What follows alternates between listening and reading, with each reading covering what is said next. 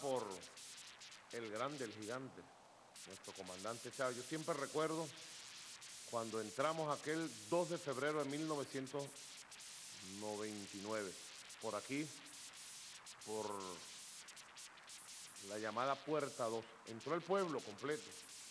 Iba adelante su jefe, Hugo Chávez, ahí, al frente, traído por el pueblo.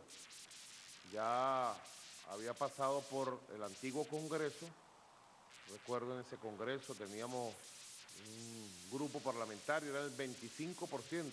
Nos habían hecho una trampa de esas que hacía el punto fijismo. Mal recordado punto fijismo. Y ya el comandante Chávez se había juramentado ese 2 de febrero, 2 de febrero, correcto, ahí en el Congreso, y nos vinimos caminando con el pueblo. Y entramos, fue la primera vez en mi vida que entré al Palacio de Miraflores. Fuimos hasta el Salón de Ayacucho y allí el comandante Chávez lo primero que hizo fue firmar el decreto convocando al primer referéndum de la historia política de Venezuela.